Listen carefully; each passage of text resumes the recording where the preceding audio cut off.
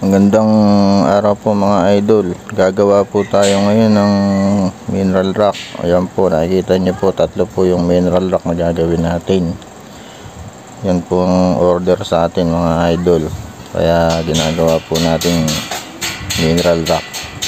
Dalawang single at saka po isang double. Pareho, pare-pareho po na 2 layer yan.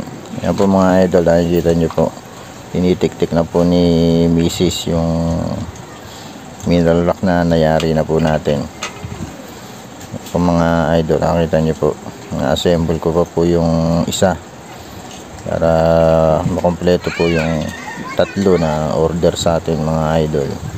Palagi lang po kayong sumabaybay mga idol sa ating mga ginagawa na mga metal works mga mineral rock na ginagawa natin plant rock, plant stand mga mga sampayan na mga ginagawa natin mga cabinet mga kung anong, anong tungkol pa sa mga metal works mga idol